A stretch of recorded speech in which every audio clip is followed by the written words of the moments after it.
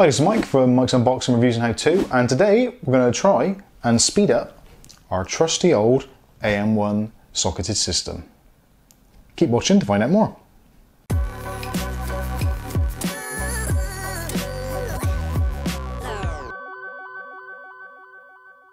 Okay, so this little box of tricks is my uh, AM1 Mini ITX build. Uh, this is consisting of a Athlon 5350 processor, which runs at about 2 gigahertz on 4 cores. It's got integrated Radeon 3 graphics. Uh, it's not exactly a power horse, but it's fantastic for things like multimedia PCs, that kind of thing. Anything low powered that you want to keep quiet. So, it's all well and good being quiet, but it's very slow. Now, a lot of that is because I'm still using a mechanical hard disk drive in there, similar to one of these. So what I thought I'd do is dig out one of my laptops, which isn't getting any use or very little use, which actually has got a SSD in it. I'm going to take the SSD out, going to use the Orico disk cloning tool to clone the disk information on there onto this old hard disk drive. Then I'm going to copy the hard disk drive in my AM1 system onto the new SSD. Sounds simple in theory, but let's give it a go and see how we get on.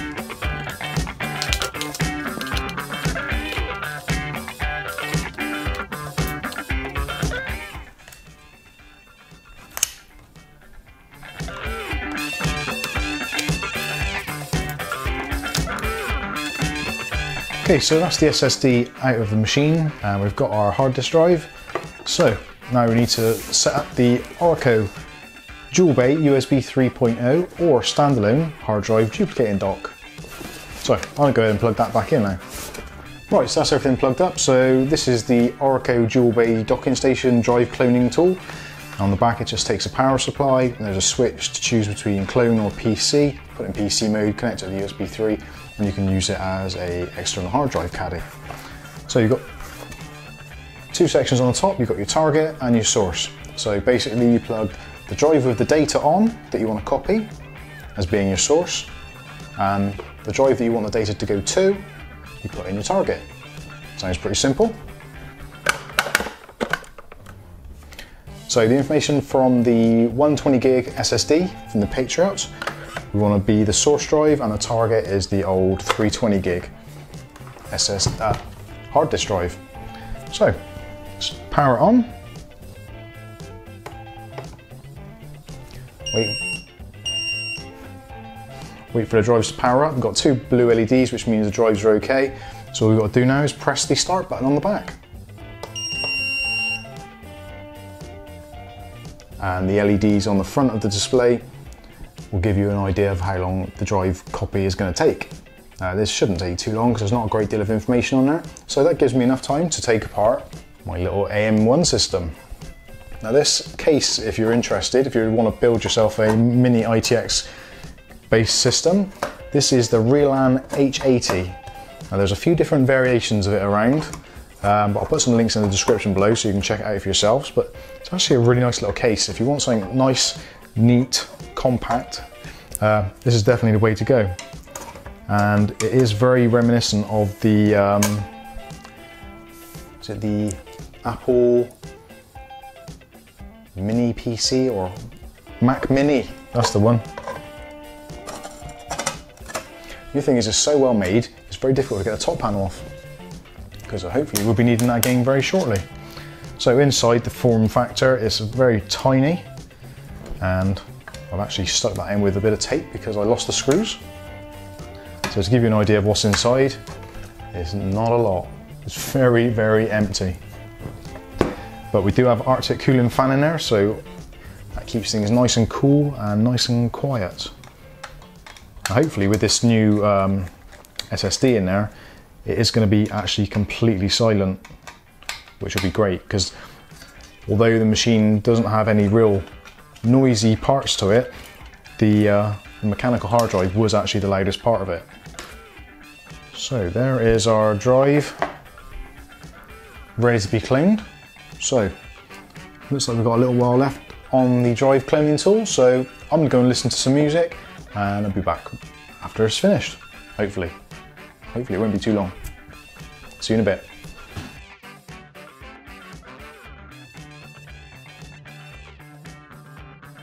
Okay, so we're back a little bit later than planned. Uh, had a few other little jobs I had to attend to, but now the uh, it's all done and dusted. We've put the SSD back into the AM1 system. So just to recap, we've taken out the hard disk drive that was in there, the mechanical hard disk drive, copied all the information off of it using the Orico drive cloning tool, put onto a nice fast SSD solid state drive. So this is going to give us two benefits. One is going to be speed, and the second is going to be silence. So there's virtually no moving parts in that machine now, apart from the Arctic Cooling AM1 cooler, which is pretty much silent anyway. So I'm really excited to see how quickly this is going to boot up now. So all that's left for me to do is press the button. But what I am going to do is I'm going to take my lav mic off and I'm going to put the mic right next to the PC so you can actually hear how loud it is, or not as the case may be.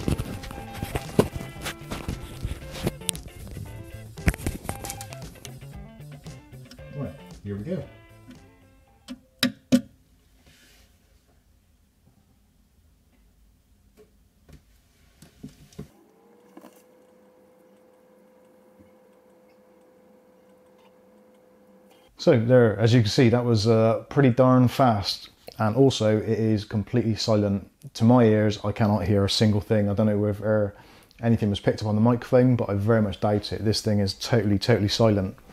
And it booted up very quickly. I guess that was probably about 20, 30 seconds to get into Windows. I'll have to check it back on the time code, but I'm guessing it's around that kind of uh, kind of time scale. Previously with the uh, mechanical hard disk drive, two minutes, maybe two and a half minutes to get booted up. Whether there's a problem with that drive or not, I'm not entirely sure, but it was damn slow and I just couldn't deal with it. And also, being that it's on a media center, the last thing you want to do is to come in after a day's work to try and watch something or do something, turn the computer on, and then have to sit there waiting, strumming your fingers, waiting for it to kind of load up. This is almost instantaneous. So now we're going to try uh, TeaTV, which is going to be another big test of this because TeaTV does take a long time to load up because it has to kind of establish all the background network connections, etc.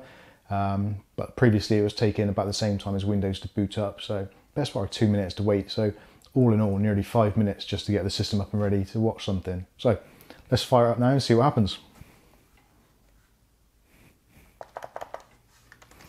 Now that's TeaTV clicked on. It does take a little while to start up, so in the meantime, I'll tell you a little bit about TVTT, TTTV. There's lots of T's in there.